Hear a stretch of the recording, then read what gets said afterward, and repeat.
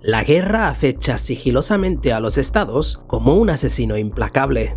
Rusia ha entrado en zafarrancho de combate, como nunca antes desde el colapso de la Unión Soviética. Según la inteligencia ucraniana, 127.000 tropas rusas se han congregado cerca de la frontera ucraniana. Parte de la movilización es un ejercicio conjunto con Bielorrusia, pero este tipo de movimientos le brindan al liderazgo ruso la opción de atacar a Ucrania desde el este el sur y el norte. La supremacía militar de Rusia es arrolladora. Podría asaltar Ucrania como un relámpago. Sin embargo, un asalto ruso a Ucrania para capturar la capital de Kiev haría estallar un conflicto a una escala no vista desde Irak en 2003. Así que, ¿cómo sería un asalto ruso a Ucrania y cuál es el objetivo último de Rusia? Soy Rafael González y te doy la bienvenida a Historia Geopolítica. Y uff, ¿qué ha sido eso? ¿Un ciberataque? Menos mal que cuento con NordVPN, nuestro patrocinador de hoy. Aprovecha el descuentazo del 70% que nos ofrece NordVPN, además de un mes totalmente gratis en su plan bianual. Visita nordvpn.com barra historia geopolítica. Luego os cuento más.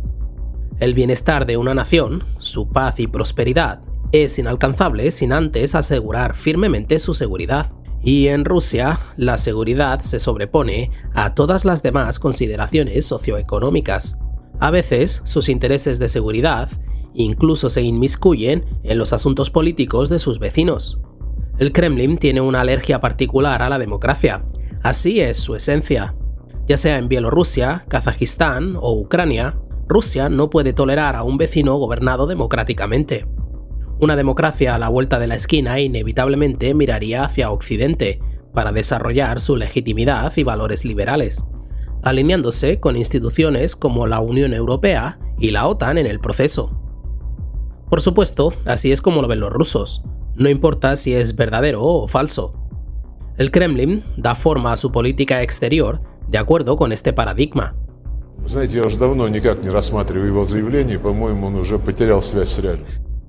En Ucrania, la revolución de 2014 colocó un gobierno democrático en Kiev. Unos años más tarde ya se encuentra en la fase final de un realineamiento político buscando unirse a la Unión Europea y a la OTAN. Lo que hace que Ucrania sea un caso especial es su geografía. El terreno plano de Ucrania se funde suavemente con el territorio ruso, sin obstáculos geográficos que delimiten la frontera internacional. Si Ucrania se une a la OTAN, Rusia tendría que aumentar su gasto militar y expandir el tamaño de su ejército para asegurar su flanco occidental. Por eso, en el mejor de los casos, la expansión de la OTAN en Ucrania llevaría a Rusia a la bancarrota, tanto militar como económicamente. En el peor de los casos, la presencia de la OTAN en Ucrania amenazaría la integridad territorial de Rusia. La costa del Mar Negro de Ucrania está a solo unos 750 kilómetros del Mar Caspio, un ejército profesional podría avanzar a través de esa distancia en uno o dos días, lo que resultaría en un puente terrestre que cercenaría el centro neurálgico de Rusia de los Cáucasos del Norte, paralizando el Estado ruso. El elemento final que da urgencia a la crisis de Ucrania es el tiempo. Vaya, parece que alguien no quiere que haga este vídeo. Supongo que no les gusta que informe imparcialmente pero mis datos viajan seguros de forma anónima gracias a NordVPN y también me permite navegar como si estuviera en otro lugar, saltarme la censura y disfrutar de contenido exclusivo que no está disponible en mi ubicación, como series de Netflix de Estados Unidos o partidos de la Liga Española. Además, NordVPN nos da un ofertón del 70% de descuento en su plan bianual, con un mes totalmente gratis. Visita nordvpn.com barra historia geopolítica y me estarás apoyando a mí y a la libertad digital. Sigamos con el vídeo. Kiev está comprando armas estratégicas a diestro y siniestro. En primer lugar, tiene un arsenal creciente de misiles antitanque, suministrado principalmente por los Estados Unidos y el Reino Unido. En segundo lugar, Ucrania también ha establecido instalaciones autorizadas para producir drones de combate turcos, que han demostrado ser mortalmente efectivos contra el armamento ruso. Y en tercer lugar, Ucrania busca desarrollar un programa de misiles propio, uno que puede amenazar al corazón de Rusia de la misma manera que Rusia amenaza al corazón de Ucrania. Con el tiempo, ya sea en 5 o en 10 años, la proliferación de armas estratégicas hará que la invasión de Ucrania sea excesivamente costosa. El país estará gradualmente mejor equipado para defenderse y mayor armado para atacar el territorio ruso. Cuanto más espera Rusia, cuanto más planea una invasión, más fuerte se vuelve Ucrania y más costosos se vuelven los planes de batalla rusos. Por tétrico que suene, es mejor actuar con rapidez que dudar hasta que haya pasado el momento óptimo. Nadie sabe a ciencia cierta cómo procederá el liderazgo ruso. Sin embargo, la amenaza es real, tanto en términos políticos como geográficos, así como en el tiempo. Значит, если на территории Украины возникнут комплексы какие-то ударные, подлетное время до Москвы будет э, значит, там 7-10, а в случае размещения гиперзвукового оружия 5 минут. Pero si el Kremlin decide arriesgarse y atacar a Ucrania, hay varias estrategias que podría seguir. El plan de batalla más probable proviene de la supuesta interceptación de las comunicaciones militares rusas por parte de la CIA a principios de 2021. Si bien el contenido de la misma permanece clasificado, algunos funcionarios de la OTAN que hablaron con el periódico alemán Bild resumieron el plan ruso de la siguiente manera. En caso de que estalle la guerra, el ejército ruso podría atacar desde Donbass en el este, Bielorrusia en el norte y Crimea en el sur. El asalto vendría en tres fases distintas que permitirían un respiro para las negociaciones diplomáticas. Después de tomar una región específica y si las negociaciones fallan, el ejército ruso podría pasar al siguiente objetivo, y así hasta que Kiev capitule y cumplan los objetivos políticos de Moscú. En cualquier caso, es probable que la primera fase se centre en el sur de Ucrania. Los tanques rusos y las tropas provenientes de Crimea tomarían la costa y rodearían la ciudad de Odessa. Mientras tanto, una operación de desembarco anfibio rusa aislaría a Ucrania del Mar Negro, mientras fortalecería las líneas de suministro que van a Crimea.